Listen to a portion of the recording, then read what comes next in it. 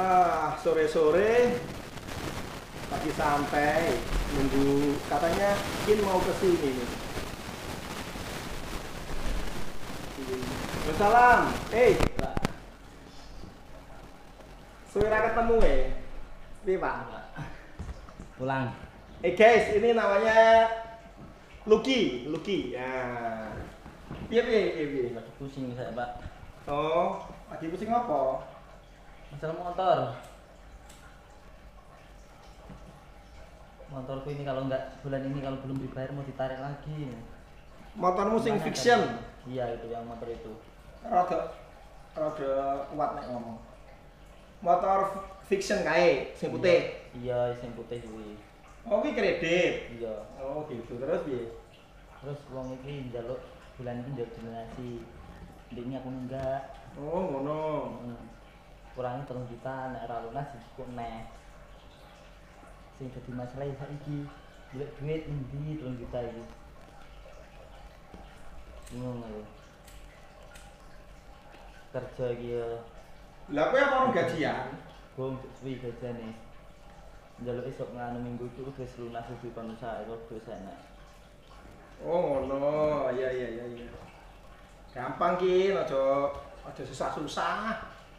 Wong ning duit 3 juta kaya kaya 3 miliar ae utang mungkin mungkin.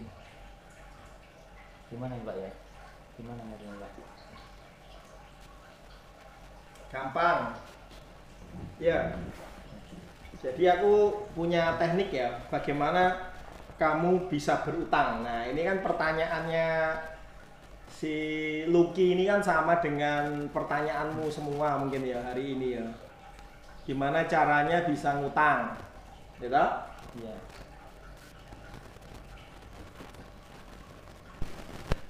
Bisa ngutang eh, Lucky ini butuh utang 3 juta guys, 3 juta. Ya.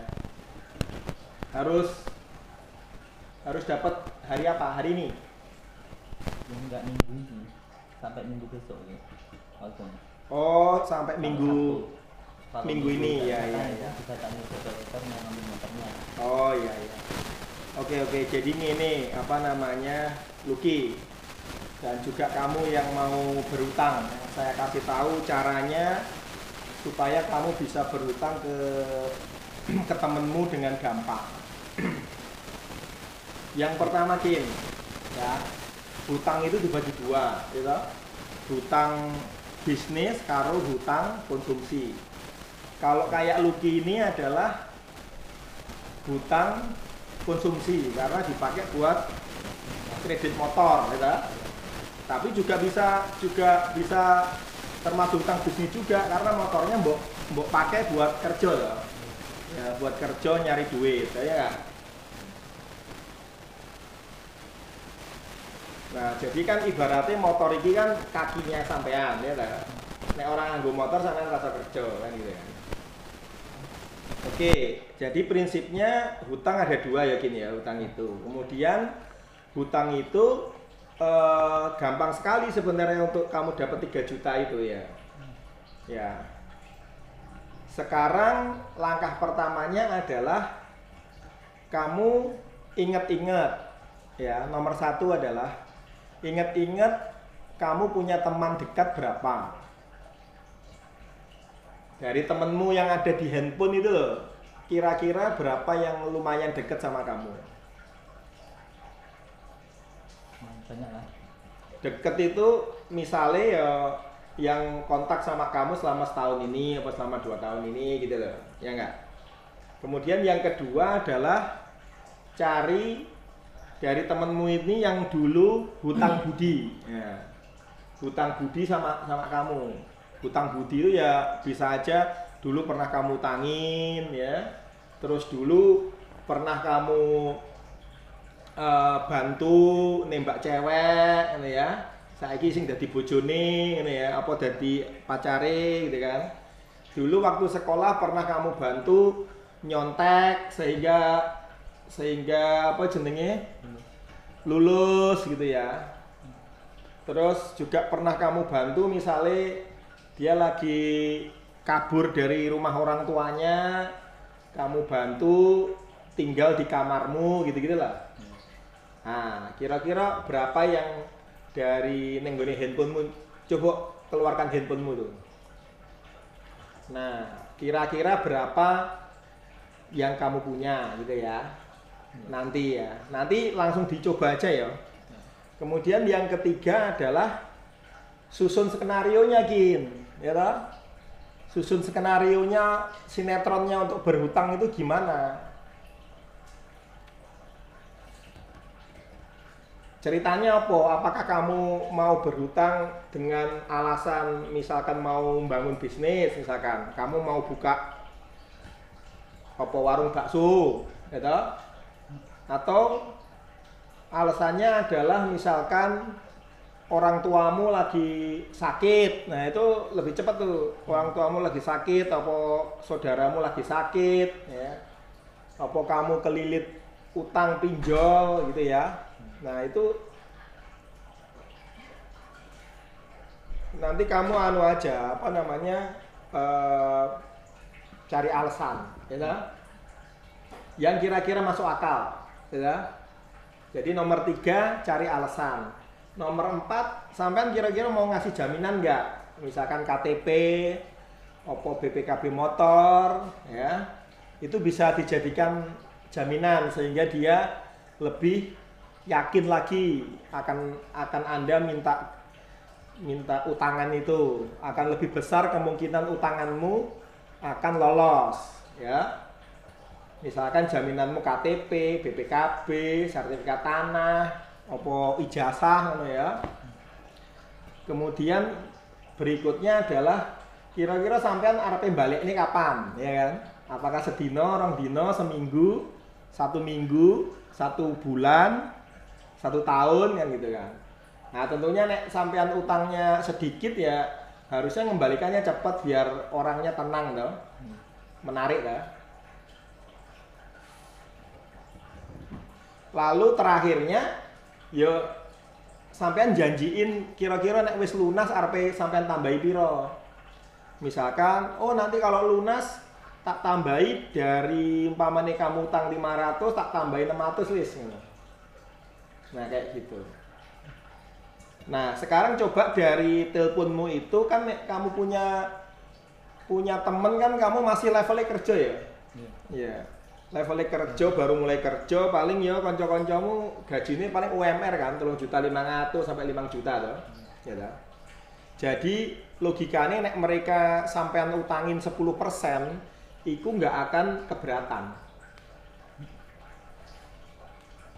Tapi nek jalur utang ojo ojo ngepas banget ya. Misalnya sampean targetnya tolong ngatus, jalur utangan yang gue koncomu kui kepada temennya itu ya. Maka mintanya utangan itu jangan 300 gitu. Tapi 500. Karena kemungkinan orang itu kalau diutangin 500, dia bakal ngasihnya 300 atau 400 lah gitu. Nah, sekarang utang kamu tadi piro? 3 juta. 3 juta. 3 juta bagi 10 piro? 3 juta bagi 10 kok mikir toh.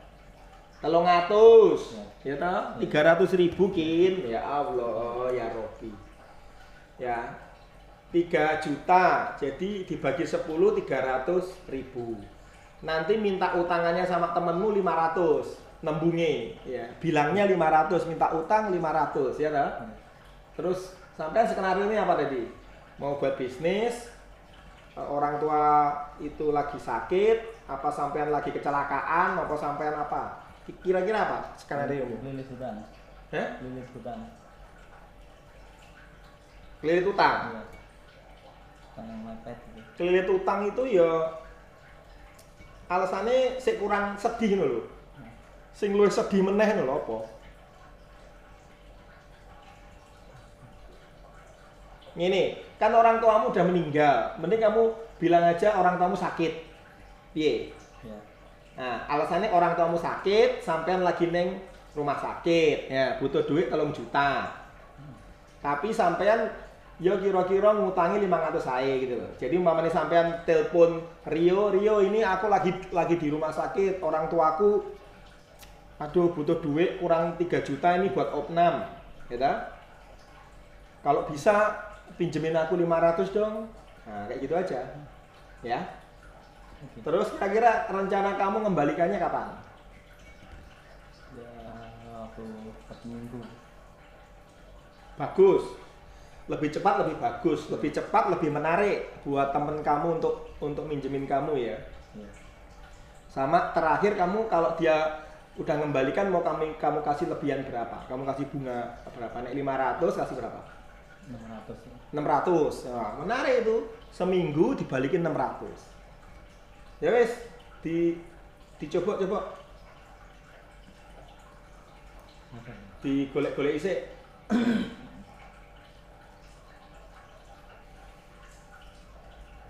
di speaker pun aja biar sekalian eh, tahu. Tutupan sih. Lawangi tutupan.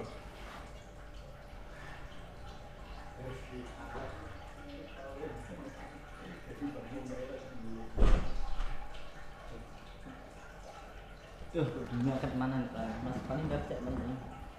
Bismillah sih. Bismillahirrahmanirrahim. Angkat. Mas dia angkat.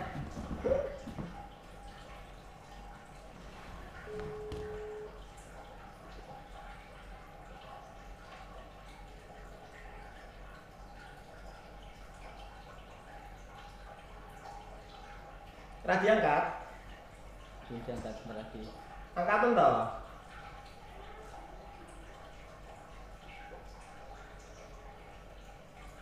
Pintunya lagi buka ya sudah. Pintunya keluar nanti. Angkat ya.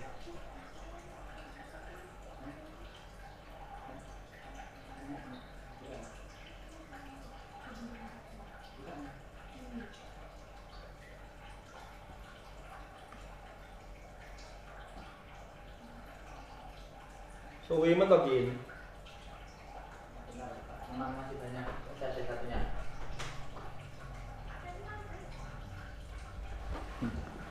Urung mbok tutup lho. Ya, nggak apa-apa. Telepon siapa? Ya. Kawan kerja. Dia kawan kerjamu dulu. Iya, dia minta dia sekarang tapi kan dia kan di cabangnya sana. Ya, ya.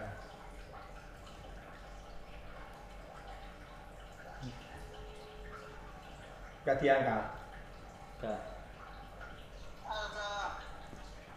Halo, assalamualaikum Mbak. Oh, rada banter loh.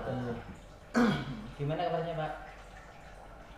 Alhamdulillah baik. Oh, Alhamdulillah ya. Ya, alhamdulillah baik. ya. Ini dengan siapa ini? Masa kawan sendiri pura-pura lupa kamu Pak? Oh, Dilupain temennya. ketemu ya Mas ya. iya, lama gak ketemu.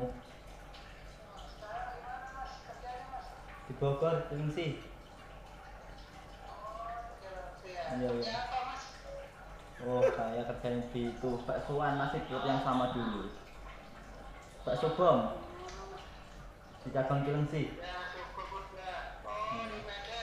Iya, iya. Oh. Sampai alhamdulillah Pak ya. Ada kenaikan pangkat sekarang.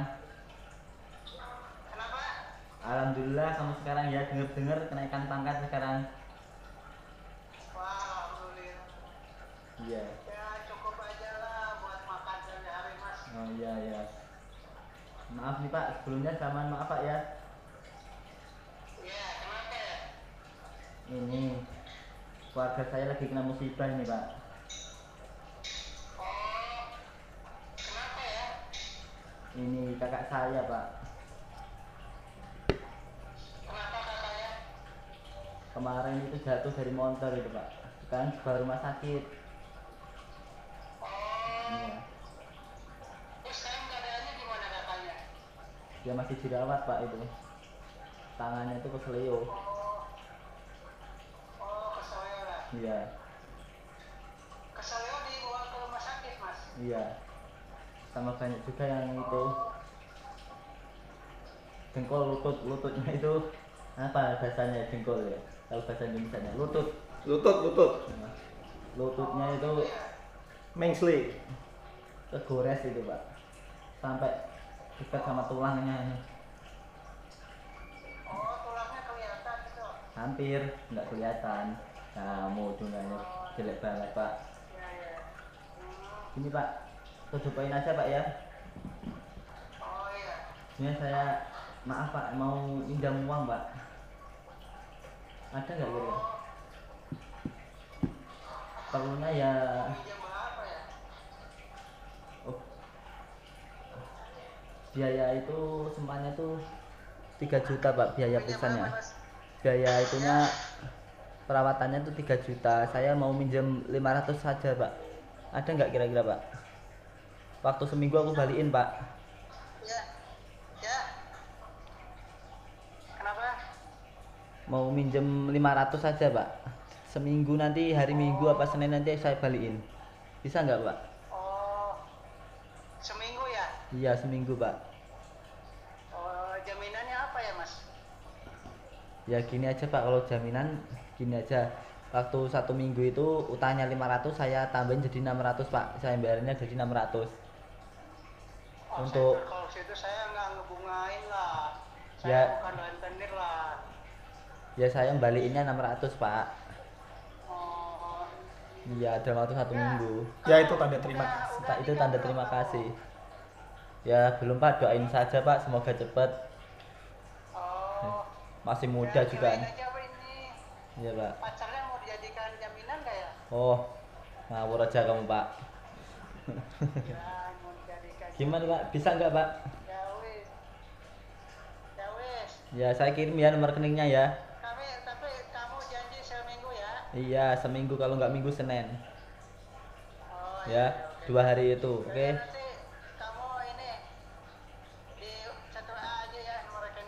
oke oke oke makasih pak ya makasih banyak pak oke ya udah ya pak ya chat aja nanti pak ya Oke oke ya. ya assalamualaikum Ya, Waalaikumsalam. Yes, yes, yes, yes. Berhasil ya. Nah, Pak, terus. makanya itu, tuh tipsnya langsung dipraktekkan dia langsung berhasil ya. Jadi buat kamu-kamu yang kesulitan keuangan ya, praktekkan prinsipnya ini ya. Prinsipnya tadi ketika meminjam uang, yang pertama adalah cari teman-temanmu yang kira-kira punya kemampuan untuk ngutangin kamu. Yang kedua adalah teman kamu itu adalah yang pernah hutang budi sama kamu atau dekat sama kamu atau dia pernah kamu utangin juga. Kemudian yang ketiga adalah ciptakan alasan yang kuat. Misalkan masuk Mas Luki tadi alasannya adalah kakaknya tabrakan ya Mas ya. Iya. Nah, kakaknya eh, tabrakan. Nah, itu kan pasti membuat orang juga kepikiran terenyuh ya, kasihan. Kemudian yang keempat tadi kasih kapan mau ngemba- ngembalikan. Jadi dia tadi bilangnya seminggu ya kamu ya. Iya. Seminggu. Kemudian yang kelima adalah kasih tanda terima kasih ya. Buk- ya sebenarnya bukan bunga tapi itu Iya, tanda terima kasih.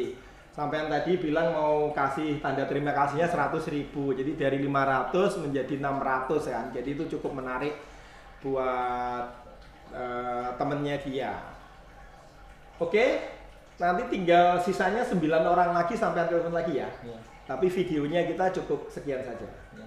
Oke Salam berkah Kiai Marketing. Wassalamualaikum warahmatullahi wabarakatuh.